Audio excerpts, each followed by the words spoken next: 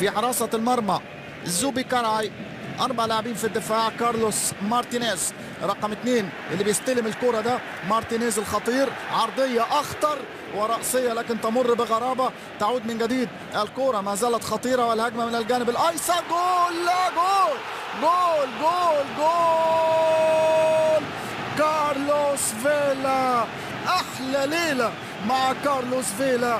يبدو أنها ليلة سوسيداد للمرة الثالثة أو الرابعة في المواسم الأخيرة.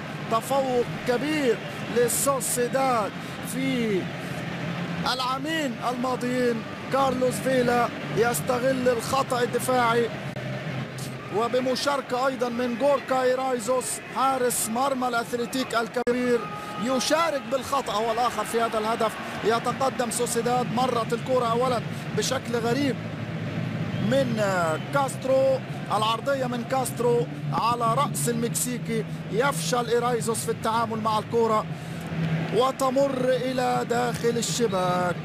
أول أهداف اللقاء أول أهداف اللقاء في توقيت مبكر جدا ويبدو أن الحظ